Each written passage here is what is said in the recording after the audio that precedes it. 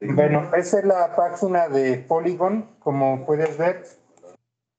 Eh, puedes bajar texturas, puedes bajar ah, modelos, puedes bajar eh, estas imágenes que son de eh, súper alta definición, que normalmente colocamos como contorno, para que sobre todo los objetos que tienen brillo se puedan ver eh, mucho mejor. También tienes pinceles. Eh, Blender tiene una opción parecida a ZBrush, donde puedes también hacer eso que se llama escultura digital. Tienes aquí la parte de los precios. 100 eh, créditos, 300 créditos o 500, pero también puedes entrar como la parte de todo lo que es gratis. Aquí texturas, gratis. Y tienes pues, aquí algunas que son bastante útiles. Dos. Y ya, entonces estas son todas las texturas gratis, pero también hay cosas gratis que puedes descargar de aquí. En el... Um, aquí en compartidos en Unitec, ya descargué, bueno, en realidad no, no lo tienen que descomprimir tienen que estar así comprimido para que lo pueda reconocer. Ese es el link, que es justo este de acá que ya bajé. Entonces, eh, cuando nos vamos aquí a Blender, aquí tenemos la versión 3.2.2, aunque ya está libre la versión 3.3. Eso lo vemos acá. Vamos a ver rápidamente. La, eh, ah, mira, tienes acá la 3.3 LTS, bueno, eh, como la, la, más reciente. Yo me quedaría con esta, acá tienes la otra, esta se les da servicio.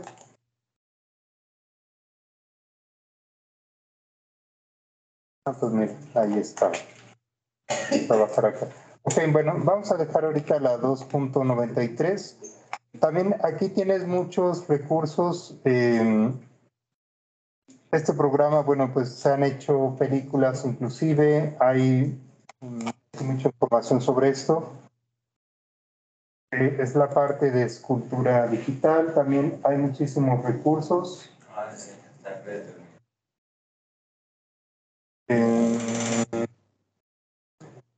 básicamente con este programa puedes modelar, esculpir, hacer animación y rigging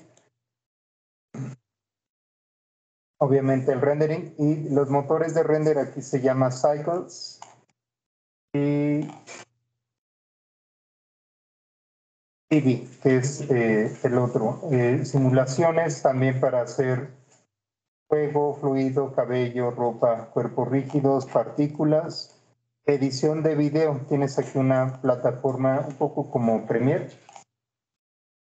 también eh, se pueden desarrollar más add-ons o hacer algunas modificaciones. Eh, puedes tener acceso aquí al código que es abierto, VFX también, es composición y traqueo de movimiento, un poco como After Effects. Y aquí te habla de la cómo puedes personalizar. De hecho, puedes cambiar los atajos como en Maya o 3D Studio Max, pero recomiendo que no lo hagas porque Normalmente, bueno, requerimos mucho de la, parte de los tutoriales y normalmente nadie los cambia. Entonces, cuando te dicen aprieta la tecla S y luego la tecla G, pues no va a ser ahí lo que se espera que haga. Pero eh, hay también eh, cosas que puedes descargar aquí. Apoyo, tutoriales, sobre todo la parte de tutoriales. Entonces, Ahí tienes de modelado y escultura para empezar los primeros pasos. Bueno, aquí se quedaron con la versión 2.8. Era la otra LTS también que duró bastante para escribir y pues algo que por lo que se les pedía que aprendieran a programar era para que aprendieran Python, no a veces las otras materias de ahí que les dan de aprendan C o Java. Por supuesto que es muy bueno, pero el que deberíamos de saber nosotros muy bien es Python que también es el mismo que utiliza After Effects. Bueno, entonces ahí tienen donde puedan, si hay alguien que le guste desarrollar add-ons, bueno, pues aquí se puede, eh, pueden participar. Aquí hay una parte también de em, posiciones o trabajos. A veces muchos de estos son en línea. Si les llama la atención aprender este programa, también se pueden certificar y, bueno, pues pueden colaborar. También aquí donar, bueno, pues al que pues, tiene ahí el corazoncito, al que le, le nazca ahí, pues puede contribuir con lo que puedan como corporación o como individuos, son las personas que están apoyando aquí, precisamente porque, pues, ¿quién hace esto gratis? Y por eso a veces se le discrimina un poco este programa porque dice, no, pues es gratis Blender, ¿no? Ha de ser muy malo, pues, ¿no? Cada vez, este programa tiene una característica y es que este, esta empresa sí escucha al usuario. Pues le dijeron, oiga, puede tener un poquito como de Photoshop, sí poquito como de Illustrator, de Premiere, de Maya, de 3D Studio Max y se lo vamos a poner aquí. Y todo gratis. Vale, pues ahí está para que revisen más cosas también. Tienen una página en YouTube.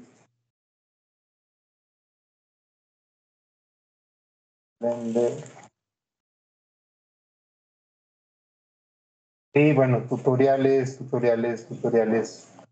Es ahí como lo que sobra. También aquí pues podría ser importante ver como qué nivel tenemos para empezar a trabajar con esto, pero les recomiendo que tomen un tutorial y pues lo hagan, no sé, a la semana. Esos son muy buenos, los de Germán Coronel. Y entonces eh, pues, puedes avanzar muchísimo aquí en el aprendizaje de este programa, desde modelar, hacer rigging. El, eh, este canal tiene varios de esos elementos. Germán Coronel se llama. Y así hay muchísimos también. Muchos tutoriales, como pueden ver. Bueno, entonces vamos a ver el programa. Aquí tenemos la versión 3.22. Y puedes abrir como archivo general animación 2D, como si estuvieras trabajando con mm, Animate, alguno de estos programas, escultura 10 perdón, o alguna otra. Normalmente estamos en general y aquí, si no te acostumbras todavía a los atajos, le puedes dar clic aquí y mueves como en cualquier programa. Control Z es el misma tecla para el undo. Salud. Con este de acá puedes rotar también sobre los, poniendo el cursor sobre los ejes y solo vas a rotar sobre ese eje haríamos en Maya o en 3D Studio Max. Hay eh, también PDFs con los atajos, en, un momento los subo. Ese es para escalar, igual puedes escalar solamente sobre un eje.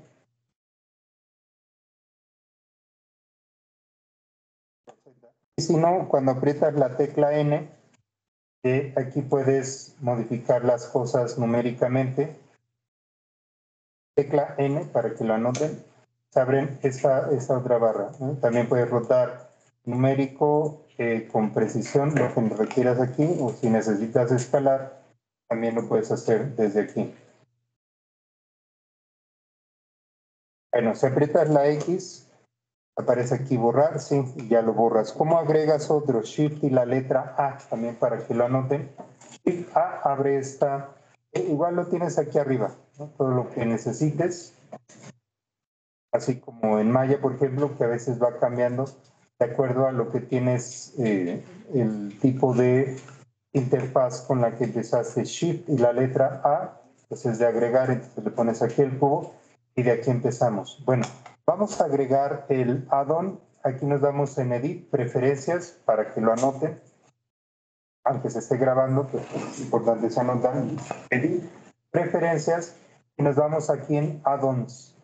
Entonces le vamos a dar clic en Install. Recuerda que los add-ons en Blender no los tienes que descomprimir.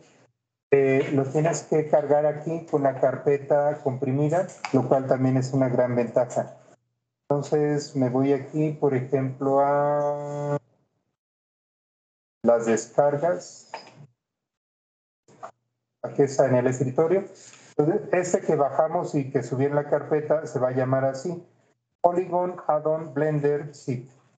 Le das un clic aquí, le pones Install. Y bueno, aquí ya lo, ya lo instaló. De hecho, te aparece solo. Y aquí tienes una gran cantidad de add-ons. Solo los que tienen la palomita están instalados.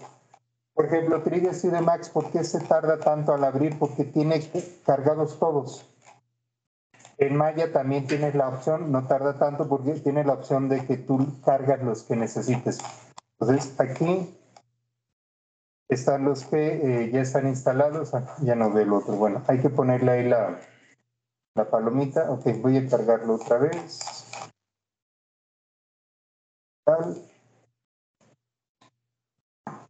Entonces, bueno, ya lo había instalado y hay que activarlo. Tienes que ponerle esta palomita aquí. Ok, y ya, eso es todo, lo cierras. Como ves, no tuve que descomprimirlo ni nada, instalé el que estaba comprimido. Entonces, nuevamente, si aprietas la tecla en esto, se cierra y todos los add-ons que vas a instalar te van a aparecer aquí. Aquí tienes el de Polygon. En este caso, eh, les va a aparecer que em, si ya hiciste tu cuenta, escribas aquí tu correo, si no lo, bueno, ahorita que le regrese la máquina lo hace. En la primera parte, aquí aparece tu correo y en la parte de abajo aparece la contraseña que tú mismo eh, determinaste para esto y le das aquí que te dé de alta. Entonces, eh, cuando quieres instalar alguna textura, por ejemplo, te pone aquí que la compres, aunque es gratuita, y esta ya la... A ver, vamos a instalar alguna de estas. Ah, estas ya las descargué. Entonces, si tomas aquí el objeto, lo seleccionas y le pones Apply.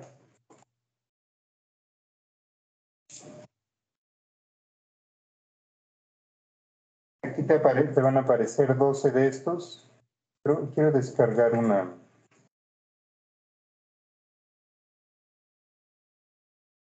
Le pones apply.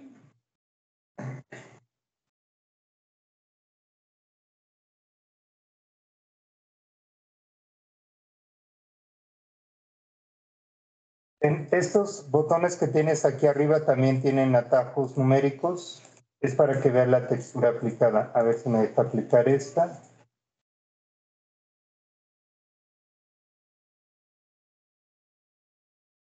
me está enviando aquí un error.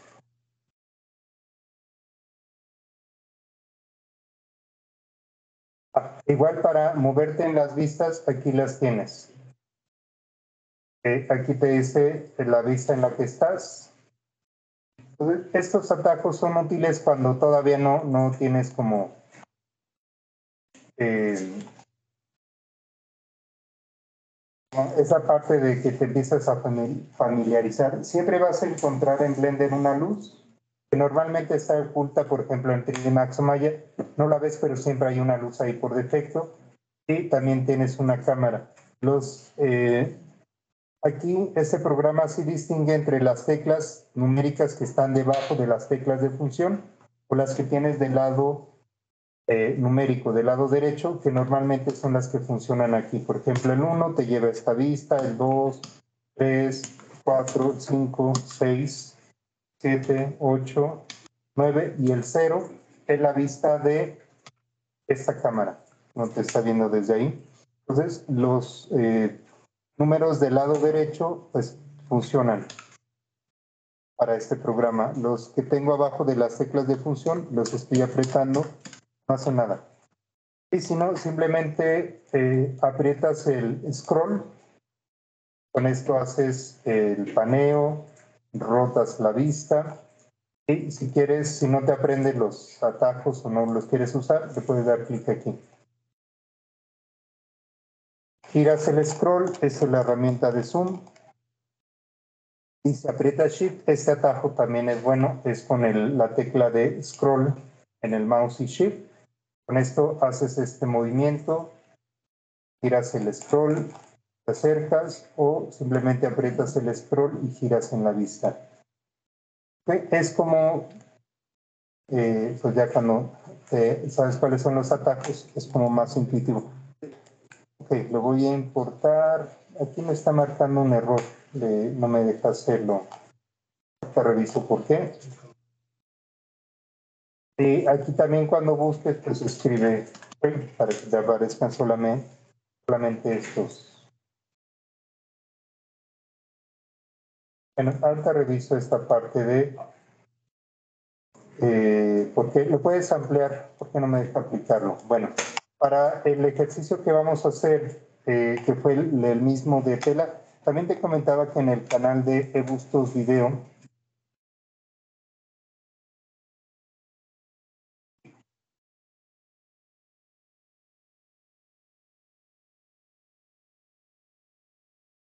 Aquí hice ya muchos de los, aquí en la parte de videos,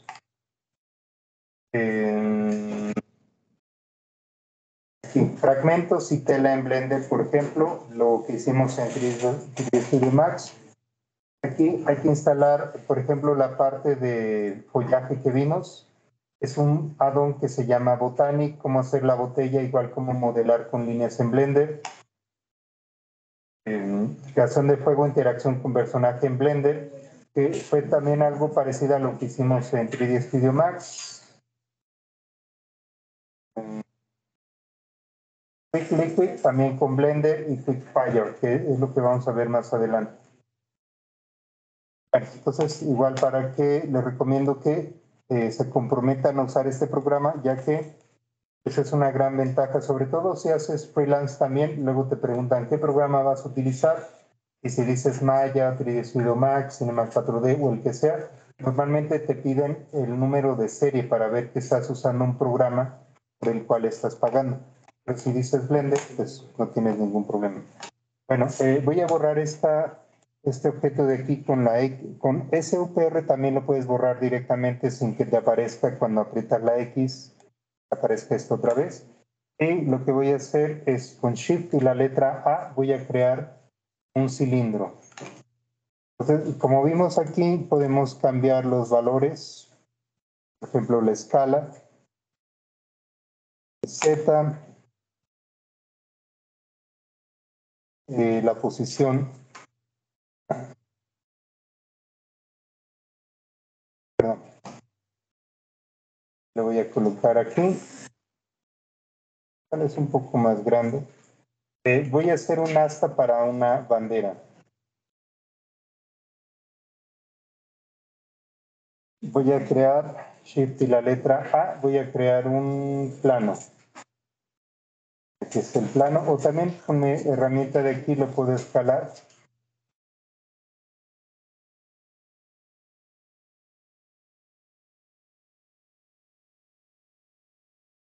Ya sabemos los colores de los ejes. X es el rojo, Y es el verde y el azul es Z. Entonces, aquí en rotar, por ejemplo, en X le puedo poner 90 grados y ya lo, eh, ya lo rotamos. Lo voy a subir en Z. Lo voy a mover en X. Entonces ahí hay una parte que debería de estar adentro. También si aprietas la tecla de Alt cuando estás moviendo, te lleva a la vista ortográfica donde pues no tienes nada de perspectiva o te va acomodando esto en 45 grados, estoy apretando Alt y el scroll cuando giro. Entonces, eso es también bastante útil para saber si todo está ajustado ahí correctamente y aquí nada más con que aprietes Alt y muevas, ve la vista en perspectiva. Bueno, voy a subdividir como hicimos en 3D Studio Max, vamos a subdividir esto, le damos botón derecho y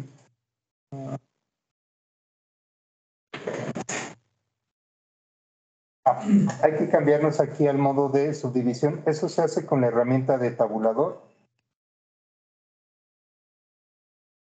Aquí te manda el modo edición. Tienes modo objeto, que es este de aquí, o modo edición.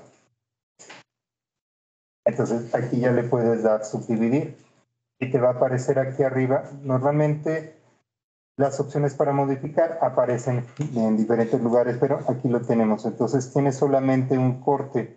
Vamos a ponerle unos 50 y le damos Enter. Aprieto Shift, giro el scroll. Aquí podemos ver la división que tenemos, que acabamos de hacer aquí.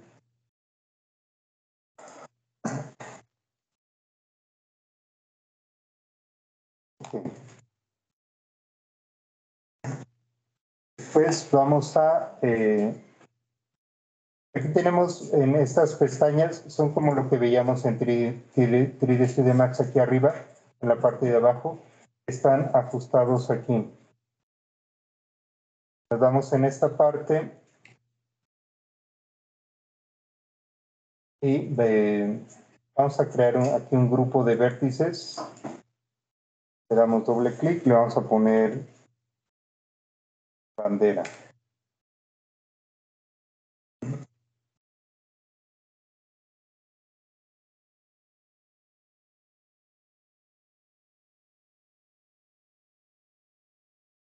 Y voy a seleccionar estos de aquí, que son los que no quiero que se muevan.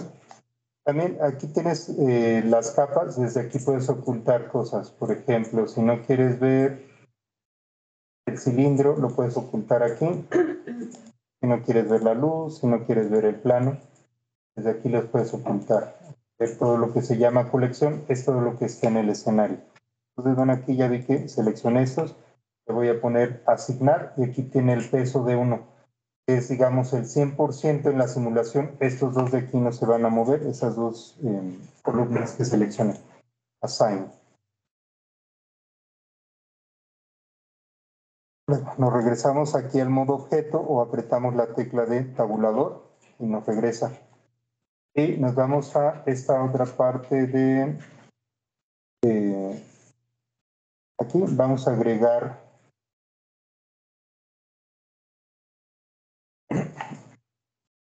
eh,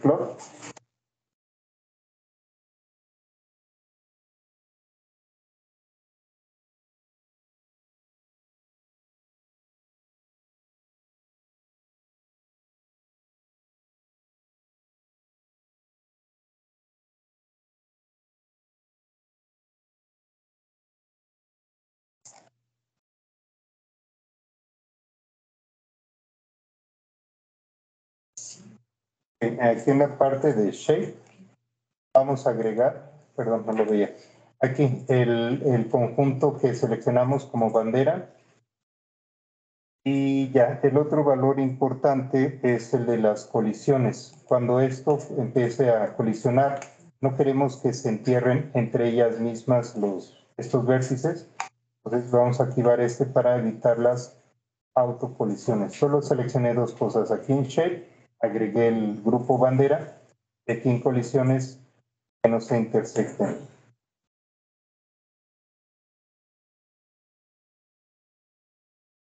Pues nos regresamos aquí al modo de objeto y le damos play. El botón de play lo tienes aquí abajo. Y bueno, aquí se ve con un poco de baja resolución, pero le puedes dar botón derecho y le pones Shade Smooth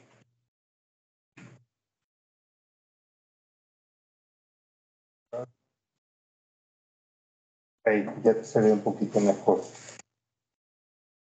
De todos modos, esa no es la resolución final de eso. Esta es apenas aplicar la simulación para que se vea como una bandera. Lo que vamos a agregar ahora es una fuerza para hacer la respaciadora de las flechas en el teclado hacia atrás o hacia adelante, te regresan y te avanzan. Barra espaciadora, para o detiene. Como en Premiere me parece. Bueno, Shift y la letra A, vamos a agregar aquí una fuerza, un campo de fuerza. Vamos a agregar bien. Entonces, como puedes ver, cuando agregas cosas, siempre las va a agregar como en todos los programas, en donde tienes la montea aquí abajo. Este es el campo, lo puedes hacer un poquito más grande.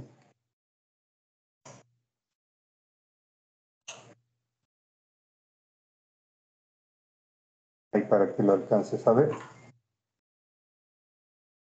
Y lo podemos mover también. Este tiene aquí una flechita. Esa flechita blanca te indica hacia dónde va a soplar el viento. Quisiéramos entonces que el viento soplara un poquito para acá.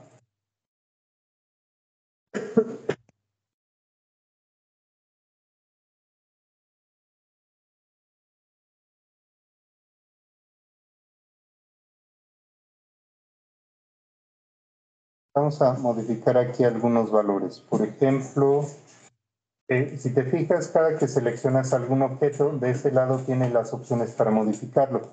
En este caso, eh, vamos a agregar, aumentar el valor de la fuerza.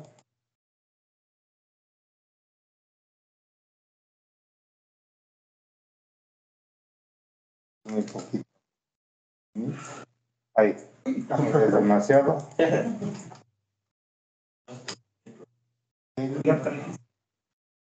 Eh, ahí está ya. Okay. Y como puedes ver, pues es bastante fácil, digamos, cuando ya conoces cómo funciona el programa y dónde están las cosas que necesitas, pues es bastante fácil eh, trabajar con eso. Ok, vamos a ver más adelante cómo eh, hacer los renders de aquí, pero ahorita vamos a trabajar con esto. Voy a detener aquí la grabación.